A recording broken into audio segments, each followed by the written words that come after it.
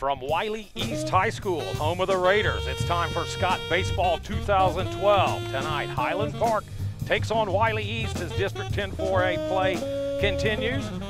Good evening, everybody, and thanks for joining us on HPTV. I'm Art Finley, along with Miles Dunklin and our man Jonathan Cantor back with us tonight. And uh, a big game last night, Miles, uh, for Highland Park to knock off Rockwall and get back in the thick of the playoff hunt, wasn't it? Well, not only a big game at, at uh, Scotland Yard, but a big game for this Wylie East club as they fell to McKinney North. And uh, so the Scots are now tied in, in, at four and four in district play with the, with this Wylie East squad, and so this will go a long way into uh, uh, helping the Scots make the, make the playoffs. And uh, we'll hope Highland Park can uh, plate some runs tonight, Jonathan. Uh, there was a one to nothing shutout the first meeting at Scotland Yard. A pretty impressive performance from Zach Freeman, and I believe he's getting the nod tonight. Yeah, it was definitely an impressive performance by Zach Freeman last time, but this is a different Scots team in terms of confidence. I think after facing Jake Thompson and being able to score two runs against him, that's really changed the mindset of this team. They've been a little bit more aggressive at the plate, but still getting into those fastball counts. And I just think overall they're much more confident. Scots took advantage of Rockwall mistakes last night and got a great pitching performance from Matt Wilson, who went the first time against Wylie. He struck out 10, but a one to nothing shutout as Zach Freeman stymied Highland Park, held the Scots to just three hits. And how about that pitching performance by Matt last night? Going into the seventh inning, still had that no-no going. Almost uh, got the no-hitter. Uh, helped settle for the uh, the district win. Big, uh, big momentum builder for the Scots as they go down the second, uh, this back half district play. Big Will Nickel will start tonight for Highland Park, and boy, Will Nickel was outstanding at Rockwall Heath, helping the Scots knock off the Hawks and really turn the season around. It'll be Mark Gottsacker to lead it off here in the top of the first inning. Gottsacker, Aaron Falgout, and Dylan May to face Zach Freeman. Gottsacker 392 on the season. Yeah, he's been outstanding yesterday. Got on base again, scoring runs. That's what he does. And he'll try and set the table here for Highland Park.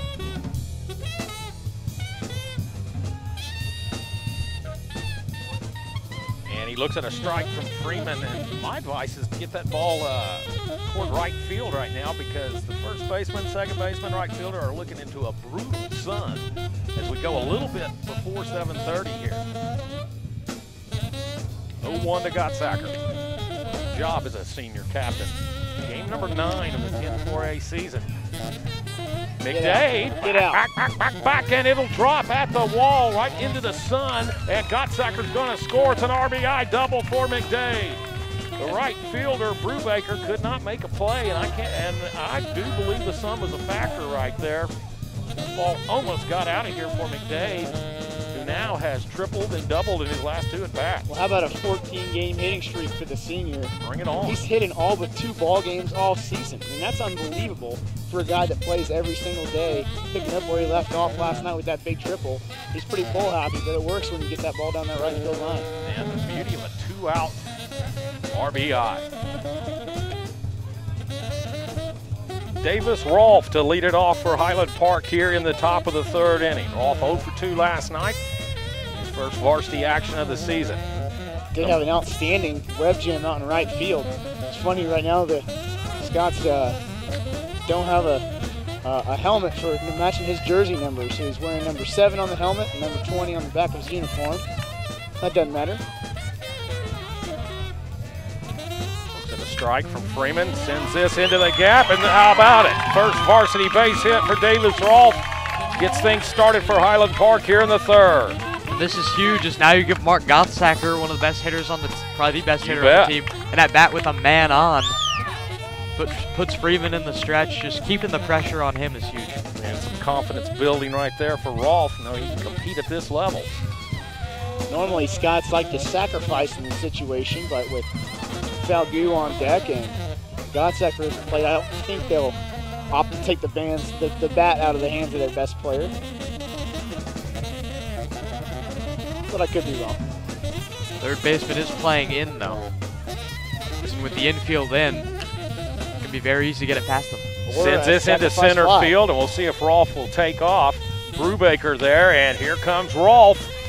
And the throw up the line, and the runners advance. It's two to nothing. Highland Park give Dylan May an RBI.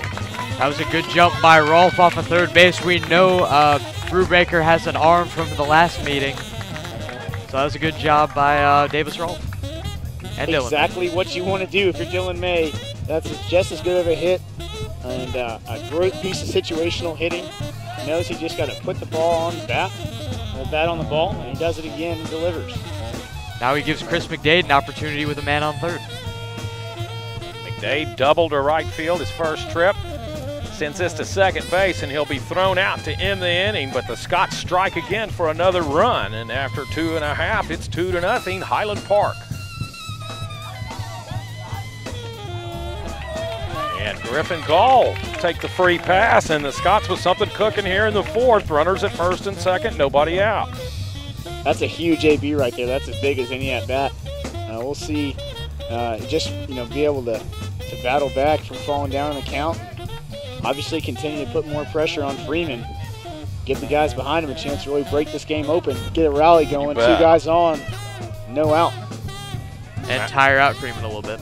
Matthew Milburn take his second at bat of the ball game. Utley at second, Gall at first. Nobody out. Freeman out of the stretch. And Milburn just out in front of that was going to lay down the bunt. Scott runners on the move. Nobody out here in the fourth inning. And that's hit out into left field. Hughes comes through. Scoring on the play is Utley.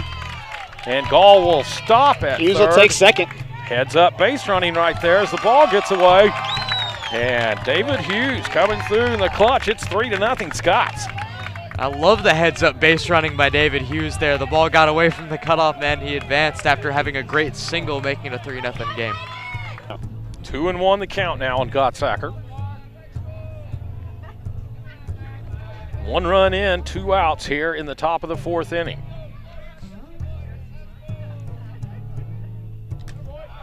I hit him. And Gottsacker will take his base at first, and the bases are loaded for Aaron Falgout.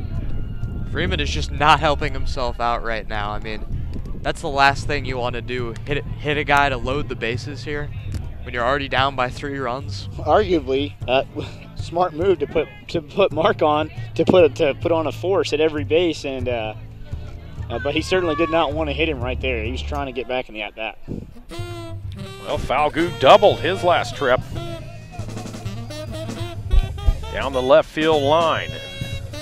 RBI opportunity right here.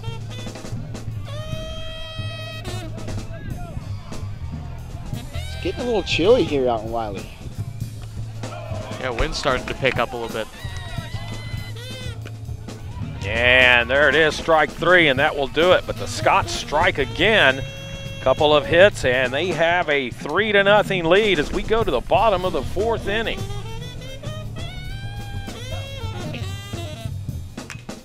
Challenges him with a fastball up on by the letters that time.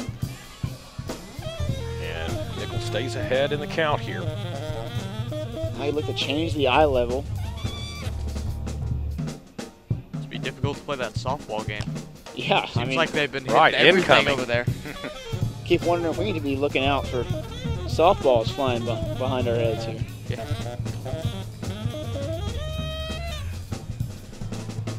He went up and in with the fastball. Let's see if he goes down and away. 0-2 pitch on the way. That's low, and again, Falgout showing his leather behind the plate. Takes that pitch out of the dirt. They handled that bounce like it was nothing. There's a reason why that guy hasn't committed an error all year. One and two, the count.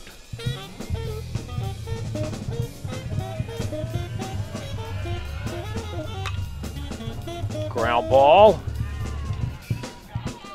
Milburn with a long throw, and he makes the play. What a beauty. That shows the value of having a strong arm on the left side of the infield. That was not a hard hit ball. It went all the way to the back of the uh, infield dirt, but he was still able to get him. Trying to work out his, his arm there. You know, when it gets cold like this, it is it's tough for these guys to get loose. But once you get warm, you're able to kind of stay warm. Jacob Hosking at third base for the Raiders. And Nickel ahead of Freeman 0-2. I'm impressed so far with how Will Nickel is dealing with adversity really for the first time this game. This is the first time they've even had a runner on third. So this is some good pitching from Will Nickel we're seeing. Look for the breaking ball right here. He's got a couple devastating out pitches. Brubaker tries to take second. And he is dead in the water, and that will end the inning. Great job by Nickel to stay still on the mound, and he gets the base runner, and that does it for the Raiders. They are gone in the sixth. We'll go to the seventh inning. The Scots in front, three to nothing. Of the seventh inning, and up for Highland Park will be Davis Rolfe. Been impressed. Now this will be Halpin right here, pinch hitting. All right, Hunter Halpin getting his first at bat tonight. Three to nothing, Highland Park lead here. You know, Big game in 10-4A. Halpin really hasn't gotten many starts of late, but he's really one of the key players in the team in terms of the first guy off the bench uh, to pinch hit and also one of the key pinch runners the Scots have utilized all season. Just as important a part of this team as anybody else. Freeman still on the hill. Hunter Halpin delivers with a leadoff single to left field, no doubt about it. On cue right there, Halpin. There we go, and that's another thing that's contributed to this win streak. It seems like the pinch hitting for the Scots has been so good. We saw, of course, Jackson Hoosier get that, get the uh, game-winning run in against Rockwall Heath, and that's more good pinch hitting. Well, add to those numbers. That's a shot to the shortstop. May safe at first base. It's four to nothing. Oliver couldn't handle the throw. Well, that was a really nice play by the shortstop. Give him credit for making it as close as it was. But Oliver not able to make the scoop, and Dylan May has himself another RBI base hit. I think I'm going to appoint myself the official scorer and give Dylan an RBI single right there. No question. Next up for Highland Park will be Wylie High School get a chance to get another revenge game against these Wylie schools. You bet. Oh, and Nichols ahead in the count now. It's 0 and 2, and Highland Park's just they came out here ready to play, and it showed from the very beginning of the game. And Miles, I like what you said about you know the only sound we could hear at one point was the Highland Park chatter in the dugout. Everybody involved, and there it is. Nichols going to end the ball game in style with a strikeout his seventh of the game, and the Scots win it here. Four to nothing, the final count. The Scots four runs on nine hits, no errors, and just a terrific performance. How about back-to-back two hitters for the Scott pitching staff? I mean, what else can you say? I mean, when they're, they're scoring enough runs to get it done, when you got the kind of pitching like that, that's a recipe uh, for success, as we were saying. Uh, Jonathan, you gotta love the way the Scots manufacture runs early in this one. Oh yeah, I mean it's been great. I mean, all we saw out here was, you know, quick single by the leadoff guy, maybe a little bunt to advance him to second, maybe a little ground ball to the right side to advance him to third, a sac fly. I mean, whatever. They've just been scoring runs. They haven't been doing it with, you know, home runs or anything like that, but they've just been they've been getting your, you know, your baseball nerd runs. All, just all around solid baseball. Scots uh, getting the excellent pitching, timely hitting, and the defense has been sensational. And the Scots with their fifth win of the district season, and now they're really putting themselves in position playoff wise. Next up for Highland Park, it'll be Wylie High at Scotland Yard. We'll have it for you here on HPTV. For Miles Dunklin and Jonathan Cantor, I'm Art Finley. The rest of our HPTV crew saying good night, everybody. See you next time with more Scott Baseball. Hi, I'm Amy Harvey, the head of entertainment at HPTV. we would like to thank our current sponsors at the moment, and if you or someone you know is interested in sponsoring, contact Kelly Snowden. Snowdek at hpisd.org. That's S N O W D E K at hpisd.org. Thank you.